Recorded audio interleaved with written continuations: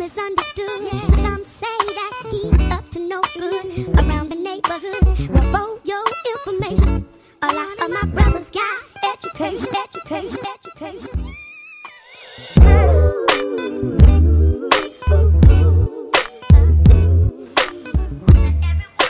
Thanks for watching, everybody. Hello, my, my name is Josh Clarke. This is episode number 20. Um, that's desinicism.com, D-E-S-I-N-I-C-I-S-M.com. Uh, today we're going to talk about um, an article, um, uh, complexity and contradiction in architecture.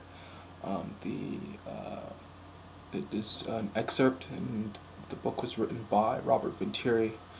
Uh, uh, the main premise of the reading seems to be an indictment of um, modernist uh, ideas, um, uh, really attacking the simplicity of uh, and the assumptions put forth by um, some of modernist thinking. The the Wiley House in New Canaan, uh, by architect uh, Philip Johnson.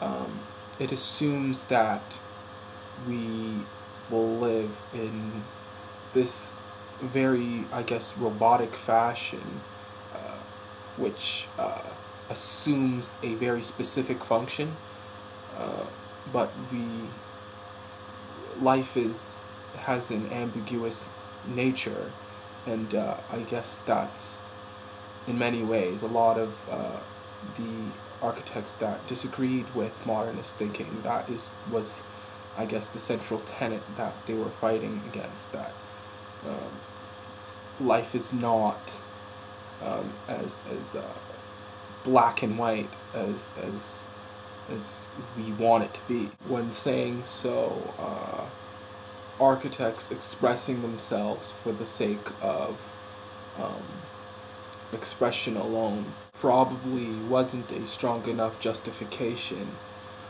So I suppose the question is, is um, uh, how do we build uh, structures uh, that over time will be flexible and responsive to our needs and the way in which we want to live our lives uh, at any given time. Desinicism, a fusion of design and cynicism, is a philosophical position which questions the industrial agenda as well as tries to encourage purpose driven and values based work within the design community.